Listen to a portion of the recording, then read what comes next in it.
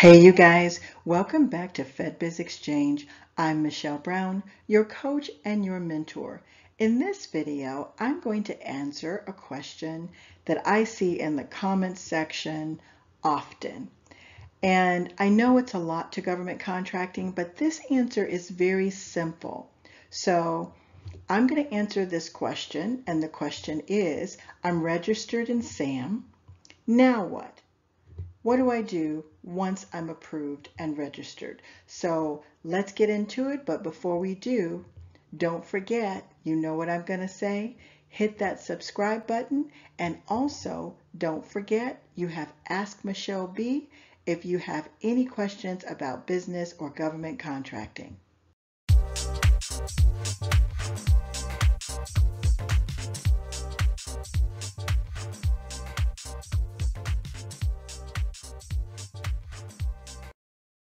So what do you do once you're registered in SAM? The answer is very simple. You start finding contracts to bid.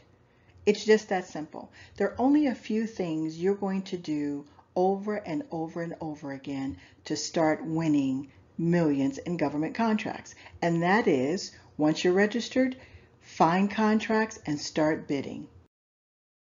So for those of you that don't know, you haven't been with me that long, or there's so many videos out there you can't find the answer, you go to sam.gov, fedconnect.net, or DIBBS, which is Defense Logistics Agency. This is where you're going to find all of your federal contracts. Now, if you don't know how to search, I'm going to leave a video in the comments section for you to learn how to search each one of these websites. So once you start finding opportunities, you start bidding.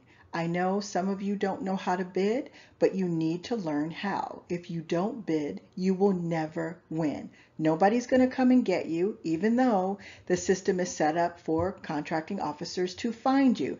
But that's not usually how you get started. You should not sit there and wait. Every time you find an opportunity that you like for your company, bid on it, even if you don't totally know what you're doing. It's as simple as this. You cannot win if you do not bid. It's just that simple. You need to find opportunities and bid often. The businesses that are winning multi-million dollar contracts consistently, they do exactly what I'm telling you to do.